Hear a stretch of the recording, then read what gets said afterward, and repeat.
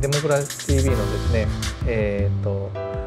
えー、本会議の方ですね、えー、たまたまたまにというか毎度か分かりませんけれども登場してます、えーと、政治社会学者の木下違いです。であのー、今日はですね、えーと、これもシリーズになってますですね一応3回目なんですね。えーと、1回目が、えー、放送の、まあ、歴史というか、はい、それの、まあ、ブリーフをやってですね2回目は、まあ、東京都知事選があったので、まあ、小池百合子さんっていうものとメディア政治とメディアみたいな話をしたんですけどもで今回はですね、えー、まあ、えー、一人でもできるニュースの見方読み方っていうことで、まあ、あのニュースの陰謀論というかですね、うん、えー、陰謀論っていうことについて今日はちょっとあの、えー、川崎さんとですね、はい、えー、話をしていきたいと思うんですよね。であの陰謀論って言ってもまああのいろいろですけど、まあ、あの数年前ですね、はい、あの数年前というのはそのトランプさんがですね大統領になった時ですから、まあ、大体4年前ですけどもあの時にいわゆるフェイクニュースっていうのが、えー、あの言葉流行ったじゃないですか。はい、でフェイクニュースって何かというとまあ一言で言えば偽の情報っていう意味ですけども、まあ、トランプさん自身もですね、まあ、見てれば分かるようにですね、うん、あの自分でも本当か何嘘か分かってないようなことをひたすら言うアメリカ大統領 が核兵器のボタンを持ってるというですね、そう。あのそういう4年間が続いてきたわけですけども、はい、まあそういうふうにですねその情報の流通というものを的確にこう客観的中立公正にこう流すっていうんじゃなくて極めて偏った形でしかも何かの攻撃したりすることを目的に偽情報を流すっていうカルチャーってものは、えー、インターネットがやっぱりこう特にその拡大してきて以降ですねずっと問題になってきましたよね。はいでその時に問題になってきたのはトランプさんもそうですけどもいわゆる右派、うん、あるいはネット右翼という人たちが、はい、えー、そういう偽情報みたいなものというのを流布させることによって、えー、世論をか乱させるっていうことが問題にされてたんですね。はい、ただえー、近年になってくるとですね必ずしもそのネット右翼っていう人だけじゃなくてリベラルというふうに言われるようなあるいはまあ左翼とかですね、うん、えー、安倍政権に批判的な方の、まあえー、情報もですねかなり、うん、えー、似たようなものが出てきたと思うどうどう思います？いやあのね結局その自分が信じたくないニュースをどう信じないかっていう理由をね心の中になんかこうつけるような人が増えてきたんですよ、うん、うん、だから自分が頭の中に世の中こういうふうに進んでいるって思ってるものがあって、うん。うん、それにこうそぐわないニュースが来た時に自分の方を方向修正するんじゃなくてえこのニュースも間違ってるから、何か陰謀があるに違いない、うんうんうん、つまり自分が思ってるあるいは自分と同じような考えを、えー、している人たちを、うん、このニュースが支配しようとしてるかもしれない。うんうん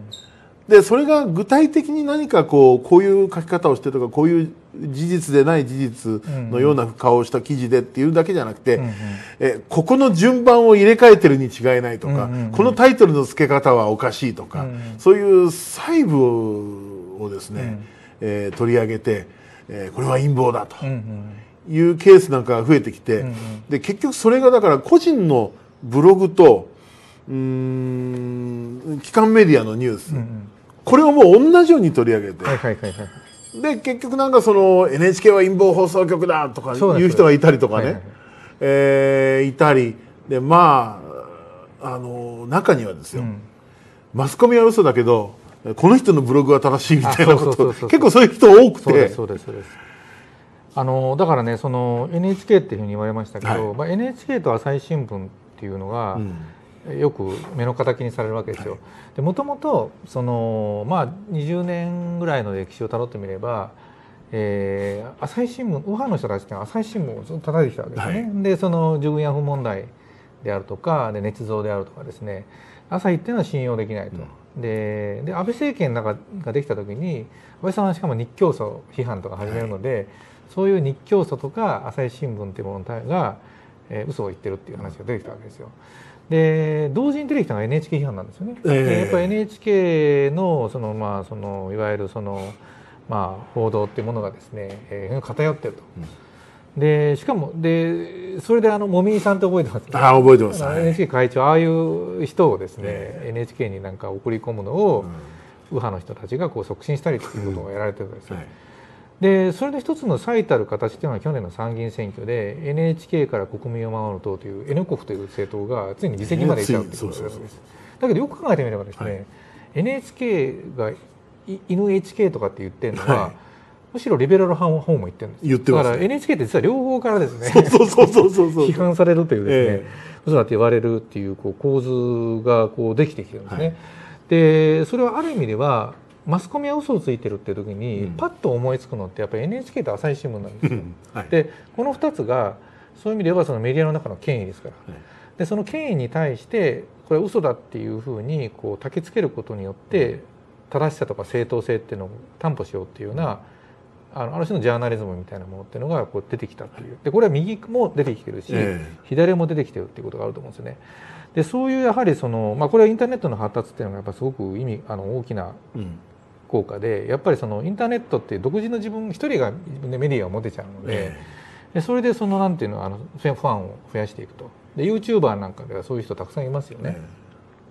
しかしそれっていうのはうん。果たしてその社会や世の中の状況っていうのを的確に捉えていくっていう観点からすると果たして、えーまあ正しいのか。うん。むしろ情報化社会っていうものが進化、えー進んで、えーインターネットによって双方向性メディアっていうのが拡大したことが逆にメディアのリテラシーを下げてんじゃないかとはい。いうことも言えないかと思うんですけども、どうですかね？あのもうですからニュースに対する見方というのをちょっと変えなきゃいけないんですよね。つまりあの陰謀論っていうのは何かっていうとここにちょっと私書いてみましたけども陰謀論っていうのはそのニュースが本来正確で信頼のおけるものだというその勝手な幻想の上に陰謀論って成り立ってるんですよ。でもですよ、んフェイクニュースなんていう言葉ができて、なおかつ個人がブログでいろんな情報を発信できるようになったこの時代に、えーどれが本来正確で信頼のおけるものかって、うん。誰が判断できますか？そうですよね。で機関メディアを疑い出したらじゃあ同じようにブログも疑うべきだし、っうん。てことはだから陰謀といえば全部陰謀だし、うん。正確といえば全部正確かもしれない、うん。そこのところはだから何々だから陰謀だとか、ここの書き方がおかしいから陰謀だというような、多分そういう捉え方をもうすべき時ではないなというようなことをちょっと思ったんですね。でこういう陰謀論的なものの見方をしていると何が悪いかっていうのをちょっと私考えてみます。うんうんえーまずね、えー見えざる敵がいるんだという前提が生まれてきて、うんうんうんつまりひこの記事を書いた人の裏側に何かもっと大きな圧力があるんじゃないかっていうのを思い始めると、そうするとねニュースの中身を確かめなくなるんですね、ん。そこに書いてあることとか書いてあることよりもその背後に何があるかということばかり考えちゃって、結局全然違う方向に深掘りしていく、でもう一つ見えざる圧力という前提を考えてしまう、で見えざる圧力つまりこの記事には圧力がかかっているんだという前提でものを見ると、あのその情報の出どころ、これを見誤るわけです、当然、そして見えざる手法例えばその、えーサブリミナル効果なんていうことを言い出すと、つまりここの、えー動画の中に、えー何何百分の1秒コカ・コーラを飲むえー絵を挿入すると後でコカ・コーラを飲みたくなるみたいなそんな実験がかつてあったという、うん。えーそういう広告効果、んうんサブリミナルの、んそんな話をこうですね、えーそのまんま全てに適用して見えざる方法によって我々は支配されてると思い出すと、自分がその記事を読んで咀嚼するというその見識に自信が持てなくなるんですやっぱり見たものは見た通りに、えー読んでいくということが自分を育てる、ということにはえー違いないと思うんですね。うんうんうんうんうんじゃあニュースってのは何か、そこを私こういうふうに考えたんです。ニュースってのは事事実で作られた作品だと、作品ということは小説とか映画とかあれと一緒だと、ただ一応事事実を原料として作られたもの。だ、だからまあフィクションとは異なるよと、だけども作ったものはあくまで作品だからね、だから事実と真実っていうのが異なるということをまず認識していただかなきゃいけない、真実ってね誰もわかんないんですよ、その当事者だって全体を見てるわけじゃないし、ある事件っていうのは見えないところのいろんな原因が集まってある一点で事件として起きるわけですから。でもう一つ、えー特に SNS なんかでいろんなニュースが飛び込んでくるときには必ず断片的な事実だけが飛び込んでくる、誰が辞めた誰がここでこういう発言をしたとかそういう断片的な事実だけが注目される、はいはいはい。これはね、えーたとえそれが事実であってもそれは真実ではないわけです、だってそれねあの文脈で取り方によって全然意味が変わることってよくありますでしょ、うんうんうん。ありますあります。ええ、だから世の中で断片的な事実だけが注目されている時はその記事はちょっと注意して読んだ方がいい。という。でもう一つ全てのニュースが作品であるということをやっぱり十分確認しておこうと、うんうんニュースというのは断片的な事実から作られる物語なんだ、あくまで記者がいくつかの事実を集めて多分こういうことが起きているんだろうという物語を書いて分かりやすく見せているということなんだ、うんうんうん本当はね箇条書きだっていいんですよ、うんうんだけど箇条書きだと記事にならないから物語にしてるわけで、うんうんでそこには必ずジャーナリストの意図が入っています、うんうんジャーナリストが私はこう読んでいるというのがき署名記事でも無署名の記事でも必ず入ってる、これはね必ず認識しなきゃいけないと。思う、だからこういうふうに作られてるものであれば陰謀かどうかなんて問題ではなくなると思うんですよね、うんうんあだからねこれは僕やっぱ政治学をやってる人間はい。としてねそのニュースっていうもの特に政治報道っていうものに関してまあちょっと極言して言うとね、えその例えば私なんかは一応まあ政治史っていうか日本政治史っていうのをですね、こうあのやっぱりあの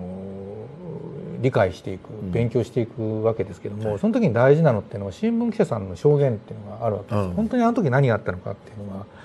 であのはっきり言えばね分かんないんですよ。あの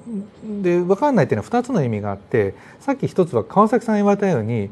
あの要するにねあの実は政治っていうのはあのお芝居なんですよね、うん。つまり登場人物が8人か9人ぐらいい。るとするじゃないですか、そして1人の話聞いても分かんないんですよね。でこれはあの有名なあの芥川龍之介のですね「藪の中」っていうあの、はい。映画でいうとあれ「羅生門」っていう作品がそうですけども全然あの全員言ってること違う言ってることは違う。でそのでそれをそのある独特の文脈を読み取るような訓練をした政治記者がまとめた時に全体像が見えるんですよね。でそれってねあの1日前にあったことが1日後に分かるもんじゃないんですよ。ああ。の例えばですね最近で言うとですね一番あったのはやはり2017年であのちょうど今ねあの野党のーはい。あの合同っていうのが問題になってますけども、この野党の合同しなきゃいけない原因を作ったので2017年のうん。あのあれじゃないですか。その、えっと希望の党騒動です、ねあはいはいはいはい。であの希望の党の時覚えてます？なんかすごいいろんな報道が流れてたじゃないですか、えあれ何だったんです？えいろんな憶測というかあのいろんな憶測流れましたよね。憶測流れましたよね。で誰が誰に会ったかっていう話が小沢一郎さんの話と前原誠司さんの話と、連合の構図会長の話と、うん。で小池さんは黙ってるんですよね。そうそうそうそうそう。でいろんな人の話が実はうん。微妙にそれぞれ違うんですよ、えええの中ですね藪のまさにね。中があるわけです。うん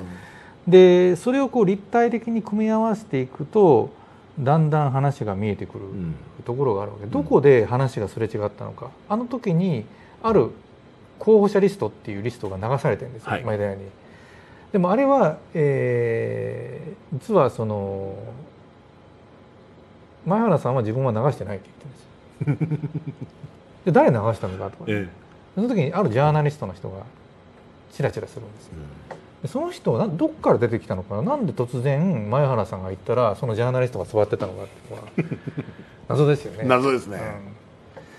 うん。でところがそういうところででしかしそのあのあれが実はあそこで決裂したことが立憲民主党を生んでつまり日本の政治のある結成作ってるわけですよね。でそれってのはその時々に報じられた、ええ。ー、じゃ分かんないです、うん。例えばこういうことがありました。その市民連合ってご存知ですか？あの、はい。市民連合って要するにその、えーそのいろんな各野党をですね。今野党共闘ってやってるじゃないですか、で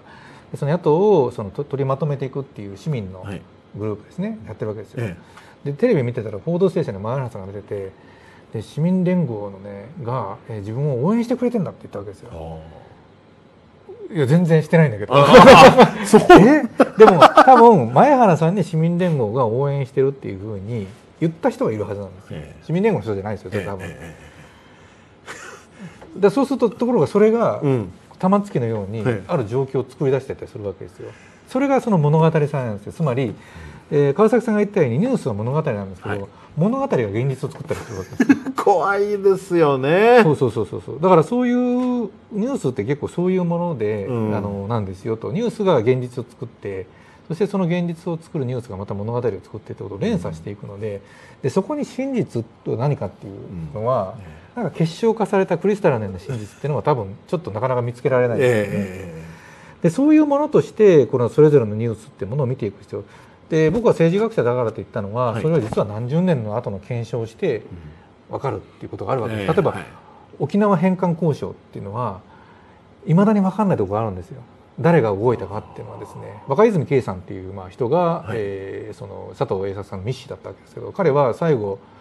えー沖縄で自殺して亡くなるんですけども、あので彼が本を残すんですけどもそれでい一角が分かるんですけどそのルートだけじゃないいくつかのルートがあったんですよ、うん。でもそれは分からないんですでやっぱ現実ってそういうものじゃないですか。これは政治だけじゃなくて事件もそうで、えだから裁判っていうのがあるわけで 当たり前ですねいろんな角度からこうその現実を見ていくっていうんで、だからそういうものだっていうふうにニュース特に政治とか事件とかそういうものって捉えないとい。けないってことですよね。ええ。でそんな状況で SNS が普及してえ人々がジャーナリストごっこを始めて。そうですそうです。でとにかく来たニュースを見てあこれは重大ニュースだ。拡散拡散とかってやってるのはまあそれはそれで結構なことなんですがとりあえずね私からこれを提案したいんですよ、受けたニュース。とりあえずニュースは全て疑えと、はいで疑う価値のない情報をあーより分けろと、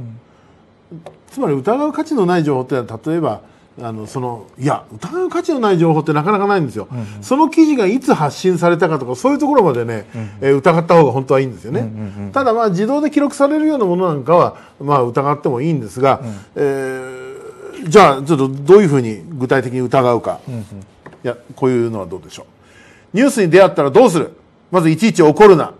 驚くな喜ぶな、大抵ね、えーこのこの間の安倍さんの辞任の時でも一番ダメなのは「やったー!」っていうのが一番まずいんですよ。えそうそうそうそうそうそうでこれニュースに喜怒哀楽つまり例えばですねこの「やったー!」みたいな「安倍ついになんとか!」とか、安倍満を持してなんとかっていうこういうちょっと気持ちを引くような書き方をしてやるときにはそれはその記事を売りたいといそう気持ちで書いてる気を引く手法ですからそれは乗っちゃダメです。あくまで、えー喜怒哀楽を抜いたところで記事というのは受け取ろうと。で、さらにその報道の背景を考える。つまりな、ね、なぜ、えー安倍辞任というニュースが今、このタイミングにこのメディアから伝えられたのかっていうのを考えていこうと。だから、記事の表面だけ見てちゃダメよと。それが伝えられたという背景の方が実は真実を示してたりするよということですね。じゃあ、それをやってニュースをどう咀嚼するか。情報ってのは、ありとあらゆる情報は写し絵でしかないと。うんだから、あの、あんまりその、情報というものに本物とか、えー何か貴重なとか、そういうふうなことはあんまり思わない方がいいわけです。あくまで魚拓みたいなもんですから。写し絵だという認識で読み込んで、で、記者のね、写し方の上手い下手というのをちょっと見極める必要があるんですよ。つまり、記者の書き方によって、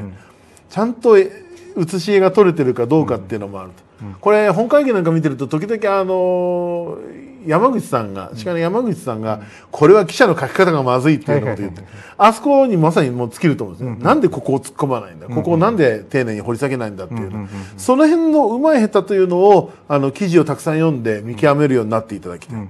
で、もう一つ、疑わしいニュースから情報を抜き出すってこと。つまりその入ってきたニュースが情報なんじゃなくてニュースの中から自分で栄養分だけ抜いていけと。でしそれは新聞切り抜きなんかをやってそのその感覚で記事を解体するということをやっぱりやっていく必要がある。だからそのためには昔はだからよくね新聞切り抜きなんてやりましたけど、あれは実にいい訓練の方法だったに違いない。そして、えー複数のニュースとか話を付き合わせて自分で実際に組み立ててみると、目標は自分が説明できる話に組み立てられるかどうか、人から聞いたその言葉の通りにこう、えー電書バトみたいにきこう伝えた情報をパッとこれ言うというだけじゃダメで、分かってちゃんと話してるかどうか。はいはいそれができるかどうかっていうところはこれ咀嚼できたねだからね。あのーこの咀嚼って本当はね僕はやっぱり日本の教育にすごく問題があって、はい。あのまあカナダカナダなんかそうですけど、ええ。メディアのリテラシーつまりメディアをニュースを読むとくってやっぱ教育があるんですよね。で日本がやっぱそれはすごく弱い。はい。で例えばねその世論調査あるじゃないですか、はい。で世論調査でその安倍さんを支持するかどうかだからもう3割がまだ支持してるってなんで3割も支持してるんだっていうか、これはあの操作してんじゃないかっていう。よく言われるそれはねま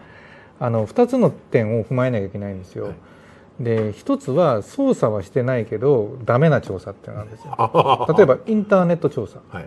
で安倍政権の支持率が、まあ、その高く出てると。でもそれはきちんとその統計手法にとってない調査なのでそれは間違いない。でもう一つはどう聞いてるかっていうのつまりこうは安倍政権の支持率が4割の調査結果と安倍政権の支持率が3割の調査結果があるとする。なんでこれ違うのって言ったら、大概の場合は4割聞いてるやつは安倍政権支持しますか支持しませんかって分かりませんって答えた場合にそれでも支持しますか支持しませんかって二度聞きしてるわけですよ。でそうするとどっちかに分かれますよね、はいまあそう言われたらまあまあいいかなみたいな指示に入れちゃうわけですよ。でそうすると分からないが減ってるはずなんですよ、えそういうふうに、えー朝日は多分ね一度聞きでえ多分共同通信は二度聞きしてるはずなんですよ。でそうすると高く出るんですよ。うんであのでえっとでただよ未来は分かんない分からないのね数数値がかなり圧縮されてるはずなんですよね。でこういうふうにその世論調査一つ取ったって報じられたものの,、あののっていうのはどう聞いたかってことをきちんと確認しないと、えーあの現実をきちんと捉えることはできない。でニュースに至ると世論調査よりもさらに複雑ですから、はい。その裏を取っていくっていうのは結構大変なことですよね現実見ていくとね。えで本当はやっぱそういうことってものをこうやっぱりメディアの側がね、もう少し特にやっぱ大新聞とかが丁寧にやるっていうことをしないといけないんですけどもなかなかそれもできてないってね。ええ。うん。まあ、そこでね、あのーまあ一般の方々がつまりジャーナリストのの訓練とか報道の現場を踏んでいない方がニュース受け取ってでそれをどう分析して自分のものにしていくかということでね私ちょっとこういう方手法を私ずっと取ってるんです。うん例えば分かりやすい考え方として喜怒哀楽で深読みしてみようと。うんであるニュースが出ましたさあそのニュースで笑ってるのは誰か泣いてるのは誰か怒ってるのは誰かそれを見てああこれで俺も儲かったとかそうやって楽しんでるのは誰かっていうのをまず紙の上に書いてみようじゃないかと。でそうやっていくうちにあれ泣いてる人が本当にこの人泣いてるのかと。か、うん。あれそういや泣いてる人がいるけどもこの人たちって別の問題でも泣いてたよなとか、そういう他のニュースの喜怒哀楽との接点というのが見つかってきたりして、うんえー一つのニュースが一つだけで独立してないということが意はい外と分かって。はいそうするとだんだん全体像に迫っていくというのが。うんうんでさでそのためにですねこういう喜怒哀楽ボードっていうのを例えば、えー作ったらどうだっていうのを、えー私言ってるんですよ。まず真ん中にニュースがあります、でまず喜怒哀楽、えーこの4つをまず書いてみると、うん。これはもうあの自分の考えてる思ったことでいいです。ご自分の知ってる範囲で。でもうちょっと慣れてきたらこのニュースで悔しがってるのは誰かとか儲かったのは誰かとか驚いてるのは誰か安心したのは誰かとか自分が思いつく限りの言葉でいろんな人とか物とかを並べていってみるんですね、そうすると時々ですね、あれ？これ喜んでる人というのはここにいるはずなのに、喜んでる人がいないっうんていうのが分かったりすると、そこに次の事件の、えー次の別の事件の中心が来たりとかして、実はこのニュースで喜んでる人を見て喜んでる人がいるとか、うんうん穴が見えてきたりね、うんえーしてだからこういうのはポストイットなんか使って、ん。えーノートの上でね自由にできるんですよ。うんうんうん。これあの実本当にそれで役に立つのかっていうふうに皆さんお思いになるかもしれませんが、ぜひこれ毎日その新聞とかテレビとかで、うんうん。えー入ってきたものでご自分でやってみてください。ね。やると意外と分かります、はい。喜怒哀楽っていうかねその、ええ。そうだからこのねえっ、とその僕で脊髄反射って言うんですけど、はい。ニュースの見出しを見て、パッと思っちゃうんです、うん。人間って。でねこれね僕非常によくわかるのは僕もあのツイッターを僕やってますのでこたつの子ってツイッターやってますけど、な何がリツイートされるかっていうのが分かるんですよ。で僕はね一番されたのはねなんかなビューバーで言えば多分500万人ぐらいのビューバーになった多分何何万っていうこのツイッターああのリツイートされることあるんですよね。はい。そういうのってね一言しか書いてない。で僕は普段やや論じる形で書くんですけど、はいそれは大体僕が言ってることを分かってる人がリツイートしたり応答したりしてっていうのがあるわけですよ。で要するにねえーみんなねインターネットの時代だとねみんな見出ししか見なくなるんですよ。はい。なんか覗かなくて。ですね。で実は見出しと中身が違う記事って結構あるんですよね。ああありますね。でところがその見出しがあのやつが大量にリツイートっていうのされてるからこの記事っていうのはすごくある意味では重要なんじゃないかって思わせるっていう形じゃないかこれがねフェイクニュースを作っていく時の一つのあの形になるんですね。だからそのやっぱりあのあ例えばこういうことがありました。えーとね、先週安倍さん辞める前にね安倍政権の支持率がはい。29%に下落っていう記事が2か月ぐらいに流れたんですよ、はい。ガーって。であーごめんなさい。えっとねそうじゃなくてねえっとねもうちょっとね安倍せあの安倍政権の支持率が下がるちょっと下がる前、はい。4割ぐらいの時に、はい。29%に下落って記事がバーって流れたんですよ。えそれ2018年の記事なんですよ。誰かが勘違いしえてよくある。やっちゃって、はい。それだけ見て大変なことが起きたって流れちゃう。あの環境破壊のニュースでよくあるんですよ昔のニュースがあのゾンビのように復活してくる。そうそうそうそう。またまたこんなところであの石油流出があったのかみたいな。いやこれ10年前のだからみたいな。そうそうそうそう。だからあのでだからそのなんて本人がそうあってほしいニュースに引き寄せられるっていうね、典型でしょこれって。典型ですね。でもそれは実は2年前の記事なんですあの森かけの時か、い。あの時にダーッと下がったやつですから、でそういうでは見出ししか見ないよ。で中の記事をやれば上に2018年10月18日と書いてあるわけですよ。ね、だからそういうそのなんていうのそのこと、うん。えーだからねなんていうのそのニュースっていうのがそうなってくると事実を知るんじゃなくて単に共感したいっていうだけのものになってくるわけですよ。そういうことですね、うん、でそれがある種のフェイクニュース。自分に都合がいいものはいだけをこう聞くようなしあの習慣っていうのを作り上げちゃうわけです。で逆に言うとそういうことばっかりやってるとインターネットツイッター上の有名人っていうのはそういうのが起きるっていうのが分かるから、はい。そういうものばっかり書き始めるわけですよ。でそうするとその人たちは事実を的確に、えー表現するであるとかしなすということじゃなくて、えー同じようにフェイクニュースに流れていくわけですよね。でそういうやっぱりそのインターネットの発達によって、えー大メディアっていう編集されたものとそういうそのそういう個人のブログみたいなものが等価なものになってしまうことによって、えーむしろそういうフェイクニュースみたいなのが生み出されやすくなってそれにならされていくとどんどんリテラシーが下がっていくっていうことが起きてきてるんじゃないかなと。そういう意味では今川崎さん言われたみたいにその深読みというか一呼吸を置いて周りを見渡してみて判断するってことはすごく大事だと思うんですよね。でねその結果が例えばその後でその正解かどうかね照らし合わせた時に正解から外れていたとしても、いいんですよ。真実は分かんないんですから、うんとりあえず一回そういう結論を得たということが大事で、うんうんうん。ただそれをね人に向かってこうだというふうにあまり言っちゃダメ。ですそうなんですそうなんです。で肝心なのはこういうことですよ。自分がその分析するのはいい、うんうんただその自分の出した推察とかそういうものも半分はやっぱり疑っておきなさいよと、うん。で一つの分析結果にこだわるなと、うん。いろんな分析を自分でしていろんな結果をえ取ってみなさいと。でできれば分析は2人以上でやりなさいと、うんうん話し合いながらやった方がよりいい意見が取れると、でもう一つ自分が出た結論をあこの統計と同じ結論になったから正しいとかっていうふうに結論に統計を持ってくるのはやめた方がいいですよ。えー統計というのはそれ自体がニュースだから、統計もやっぱり一回疑わなきゃいけない、その上で一緒だと言うならまあいいけどそうですね。だからそのあ今の中でも僕一つあるのはその分析はね、2人以上でした方がいいっていうのはすごく大事で、僕やっぱりそのそういう同じような共通の話題で話せる人たちとかとか、そういう場とかね、まあ、例えば9条の会とかあるじゃないですか、ねえ。そういうところでもいいわけですよ。そういうところで普段から話してる人はそのなんていうの？あんまりねあの極端に間違わないと思うんですよね。うんうん例えば我々現実に生きてる社会の中で政治や社会の問題を考えるようなサークルとか、はい。そういうところがあるとそれが一つのためになるんですよ。やっぱりねそういうものから外れてしまってある種僕は孤独がフェイスニュークを生むっていうふうに思うんですよね。そういう意味ではそのメディアの問題を考える時はメディアはそれ自体の問題だけじゃなくてこの社会の在り方を映してるんですよね。だからそういうやはりそのいろんな人たちが話と話せるような場をやっぱり自分で作っていくっていうことを絶やさないことが僕は間違わないことので大事だと思うんですよ。でそのことでさらに言うとね正しさよりもうん間違わないことを大事にした方がいいです。間違わないでおこうって思っておけば修正がいくらでもきますから、はい。でもね正しいと思ったら聞かないんですよ。これは僕はあの鶴見俊介という人が大好きで彼はプラグマティズムという哲学が彼のベースにあるわけですけども、